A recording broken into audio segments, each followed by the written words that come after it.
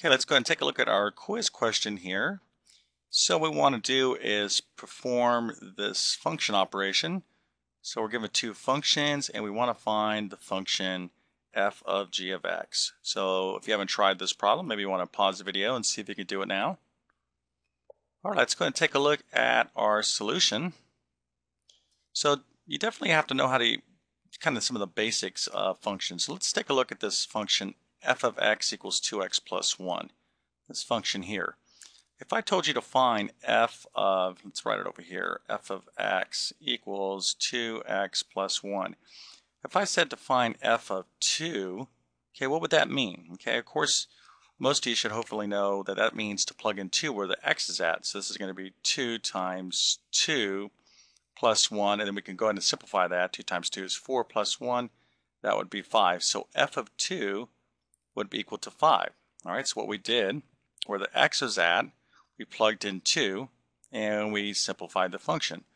Well, what we're going to be doing here is called a composite function, and instead of plugging in a number into this function f of x, okay, where this x is at, okay, what we're going to be doing is plugging in another function, and specifically we're going to be plugging in the function g of x, and it's this part of this function that we're going to be plugging in. Right, so if you're if you're kind of lost on this, you definitely want to go back and review composite functions. Extremely important in mathematics. So let's take a look at the rest of this problem.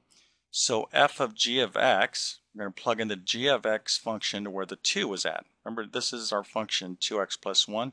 So the 2 is next to the x, so we're plugging in that g of x function. So we have 2 times negative 3x minus 6 plus 1. And then you could just see the algebra here of me uh, simplifying it. Okay, I'm doing uh, the distributive property. I have negative 6x minus 12 plus 1, and then we just kind of walk it all the way down to its uh, simplest form. So we have f of x equals negative 6x minus 11. Okay, so definitely have to know those functions, and um, you know, if you're confused about this, uh, and some students find this kind of confusing initially, so go back and do some review on function uh, composites. And if you want to take more uh, pop quizzes with me, and especially if you're a homeschooler, hope to see you over at homeschoolmathquiz.com. Have a great day.